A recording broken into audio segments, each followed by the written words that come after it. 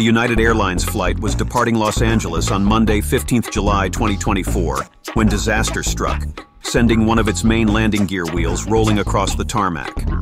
By God's miraculous intervention, the plane, carrying 174 passengers and seven crew members, managed to land safely in Denver, despite the malfunction.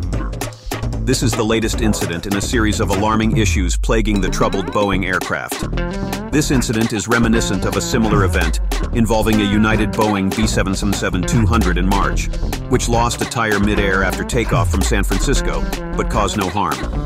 Understand that you cannot solely attribute the prevention of accidents to human skill, technological advancements, rigorous safety protocols, and sheer luck. Divine intervention plays a major role in preventing accidents and saving lives, including in the context of aviation. God is always responsible for the miraculous or providential interventions worldwide.